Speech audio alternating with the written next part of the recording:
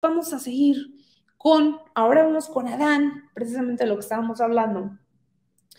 Eh, me queda claro también, me queda claro muchas cosas. Que vemos los eventos de Adán, yo sí lo he dicho, me parece que son muy pocos los errores que van teniendo, eh, como todos los equipos van teniendo, pero empezó muy bien, ¿eh? O sea, la semana pasada estuvo muy bien y me parece que esta semana va perfeccionando cosas. Eh, también lo veo muy natural, lo veo muy, muy, este, muy fluido, lo veo bien, eh, muy nutridos los eventos también. Lo veo bastante bien, me agrada. Me agrada bastante cómo se ve, yo, yo vengo viéndolo bien. Eh, me parece que este acercamiento que viene haciendo también con las universidades y con los, con los jóvenes es bastante interesante, va a tener, por supuesto, pues sus frutos bastante interesantes. Y, también decirlo que Adán es de los que se acompaña, al igual que Marcelo, de imágenes muy jóvenes. ¿eh? No por nada tiene a Abraham Mendieta y Andrea Chávez muy cerca, eh, a Julieta, la diputada también. Eh, tiene varios perfiles jóvenes, mujeres y hombres que lo acompañan y eso me parece que habla, mucho de la personalidad de Adán, también de la personalidad de Marcelo son personajes que se abren muchísimo. Ah, tienen esa apertura. Eso me agrada bastante. Eh, vamos a ver lo que dijo el día de hoy. Estuvo él en Sinaloa. Precisamente estuvo, ahorita estaba yo escuchando en Juan José Ríos, Che Ríos, mejor conocido como Che Ríos allá en Sinaloa. Yo conozco muy bien Juan José Ríos. Eh, tengo una familia, amigos allá, no es familia mía, pero es familia de una amiga mía allá en Che Ríos. Y, tengo muy buenos recuerdos de esa comunidad de, Sinaloa. Y me dio mucho gusto que esté allá, ahorita que lo comentó. Me encanta el hecho de que lo recibieran con tanto eh, calor y con tanto abrazo. Ah, el, secretario de Gobernación, Adán Augusto, ex secretario de Gobernación, en el estado de Sinaloa. Me parece que le va muy bien allá. Eh, y bueno, vamos a ver qué dijo Adán Augusto. Hola, buenas tardes. Estamos a las afueras de Juan José Ríos, en el corredor que va desde Culiacán hasta Los Mochis. Es impresionante, es de admirar cómo trabajan la tierra aquí en Sinaloa. Aquí estamos enfrente de un sembradío de sorgo forrajero. Pero así está todo el camino, cuando no es maíz, es trigo, es sorgo, y se nota el amor y la manera en la que se trabaja la tierra. Terminamos eh, esta gira en Sinaloa, estuvimos ayer en Mazatlán, en Culiacán, vamos al evento en Mochis y de ahí nos vamos a Sonora. Y yo quiero, no quiero dejar pasar la oportunidad de reconocer y felicitar y agradecer a la hermosa gente de Sinaloa. Es un pueblo noble, trabajador. Sinaloa, sin duda, seguirá siendo el granero del país mi gente hermosa de Sinaloa que nos ve, este, pues qué gusto, qué gusto que haya estado Adán allá en Sinaloa y qué gusto que haya estado en Juan José Ríos, una comunidad muy hermosa, igual que la de Platanito también allá en Guasave, Sinaloa, me encanta Sinaloa. Y bueno, pues ya, eso fue lo que dijo hoy Adán Augusto. Entre los recorridos que ha estado. Me parece que tenemos otro video de Adán Augusto, si no estoy mal, eh, si lo podemos poner y ahorita nos lanzamos con Noroña.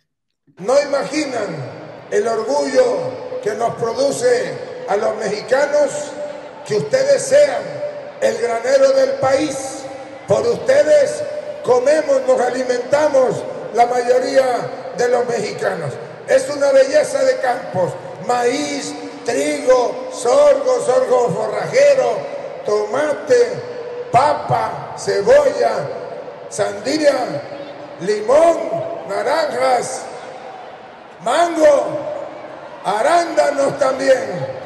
Gracias Sinaloa, gracias a ustedes por esa entrega, por enseñarnos cómo hay que querer al campo. Es verdaderamente impresionante la manera en que se trabaja. Y yo cuando veo cómo trabajan la tierra, con qué dedicación, con qué entrega, con qué cariño. Le digo a todo México, no se vale andar estigmatizando a Sinaloa. Sinaloa es mucho estado, es mucho pueblo, es todo México. ¡Que viva Sinaloa!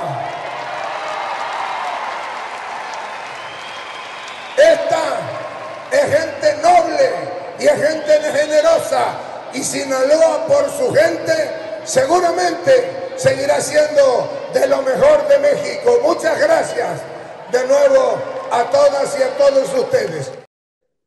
Pues bueno, vemos el discurso de, de, Adán. Eh, ya lo hemos mencionado, me parece que a Adán le está yendo muy bien en las encuestas.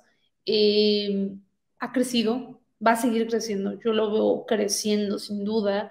Me parece que inició sus recorridos de manera muy adecuada, eh, muy, muy bien.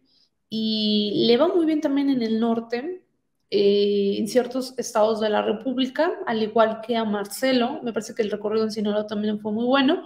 Ya estaremos viendo si hace alguna adecuación estratégica en su discurso.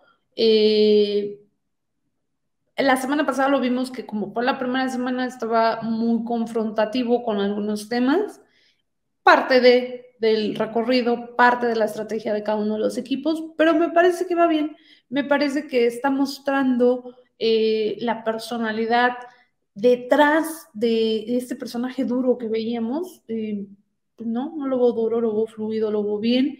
Eh, tiene mucha fuerza en el discurso y mucha fuerza en la voz. Entonces, yo veo un personaje bastante interesante, como todos los demás personajes, todos a su manera, todos, incluida Claudia, Marcelo, Adán, Noroña, todos abonan mucho, porque algo de lo que no hemos analizado muchos es que independientemente de quien llegue a ser el sucesor del presidente, mujer o hombre, sí es un hecho que lo que se está haciendo de que los cinco aspirantes dentro de la 4T, seis con Velasco, estén recorriendo la República Mexicana a un año de las elecciones ya oficiales, y que estén mencionando todo lo que se ha dicho. Es la mejor forma de hacer política a ras de suelo, la mejor forma eh, en términos democráticos dentro del movimiento, pero también la mejor forma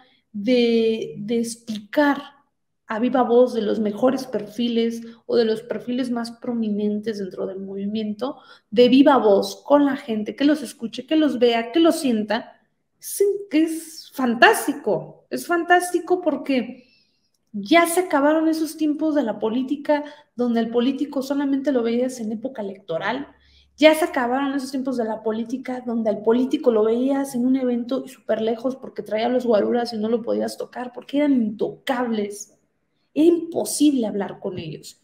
Y ahorita vemos estos recorridos y vemos que se están esforzando todos todos, todos están haciendo su mejor esfuerzo. Desde que, por ejemplo, a Claudia se le fue la voz la primera semana. Desde Marcelo, que cambió estructuras y algunas cosas en su, en su estrategia.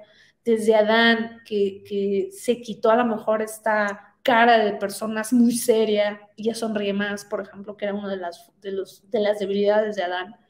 y cada uno ha ido haciendo, incluido también Noroña, y Ricardo, todos están haciendo algo. O sea, aunque a unos, aunque a usted que nos ve ya tenga su corazón con uno o con otro, todos están sumando, todos, todos, todos, porque todos están recorriendo la República Mexicana, están hablando con la gente, están acercándose con la gente, están buscando a la gente. Eso, eso es muy bueno. Es muy bueno porque es la única forma de que el movimiento siga vivo, siga vivo, siga vivo por, por, más años, no solamente por una época electoral como siempre ha pasado, eh, sino estamos, eh, así que transitando a otro proceso histórico en nuestro país.